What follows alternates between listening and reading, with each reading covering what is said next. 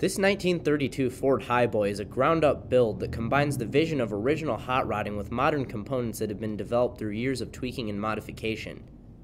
Completed by Lonestar Rod Shop in March of 2008, this Ford Highboy gleamed and glistened its way to a first place finish at the 2009 Good Guys in Houston, Texas.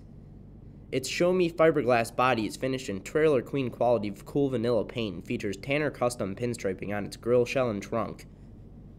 At the front of the car, Custom box and tapered frame horns hold a custom fabricated spreader bar. Above that spreader bar, a stainless grille sits between two 33 Ford commercial style headlights that include built in turn indicators. At the rear of the car, a black fabric top features a small glass window that is trimmed in stainless above a stainless tag bracket that incorporates a third brake light. Under the one piece hood, a 350 cubic inch Chevrolet V8 has been painted red to match the interior of the car. At the top of that engine, an air cleaner is topped by a studded wing nut and housed in a chrome enclosure. Under the air cleaner, an Edelbrock Performer 600 Endurashine carburetor is fueled by stainless lines and features a Lokar throttle linkage that is wrapped in braided metal.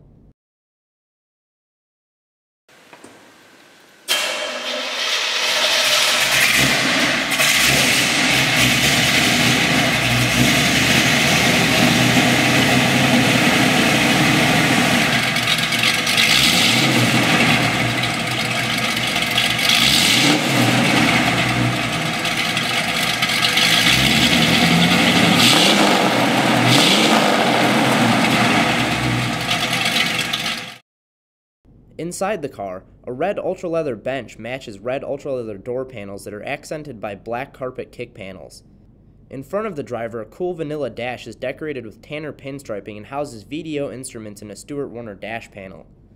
In front of the VDO instruments, a Lokar Nostalgia floor shifter looks fitting and mounts next to chrome trimmed foot pedals. Interfacing with the driver is a red and black Limeworks 40 style steering wheel.